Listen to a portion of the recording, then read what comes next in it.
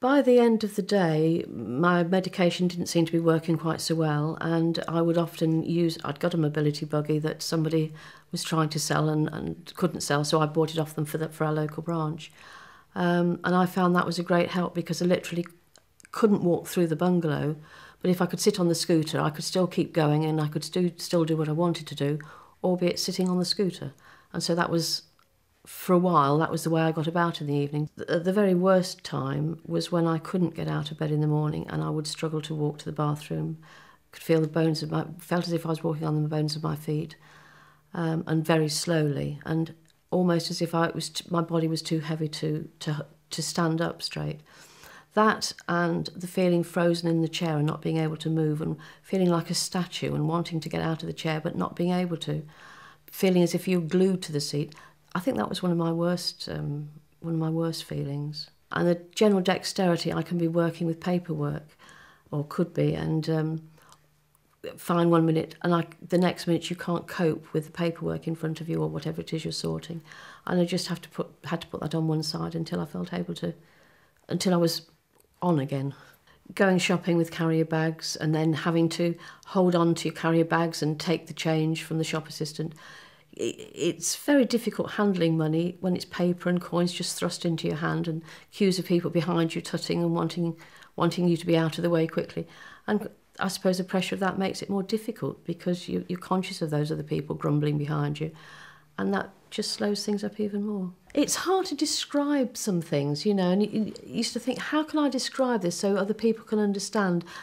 And, you know, the wa- wading through water, the walking through water, that's what it feels like when, when your, your medication is wearing off. Um, and the, so the clumsiness and, and not being able to hold your body up as if your body's too heavy for you.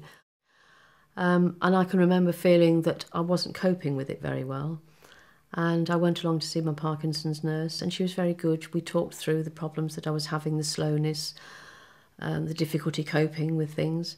And um, we talked through the possibilities and we she made suggestions with medication changes which didn't work straight away but we, we put a trial and error and um, I went on to different medication and that made all the difference to me and I was able to sort of start rushing around again.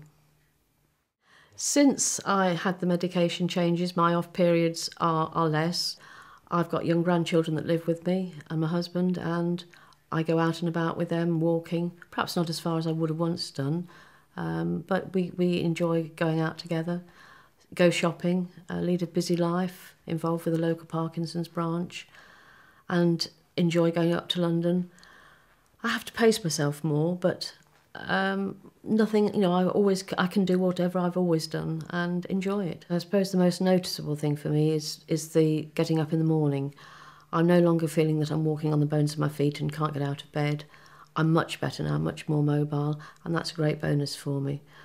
Um, and the wearing off, I don't notice so much. It, perhaps in the evening I'm a bit slow, but for the rest of the day, since I've had the medication change, um, the symptoms seem much, much better, and uh, life is great.